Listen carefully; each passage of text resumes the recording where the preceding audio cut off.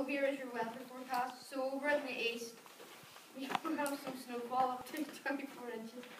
Then over at the north, near the Londonderry area, we will have light showers of rain.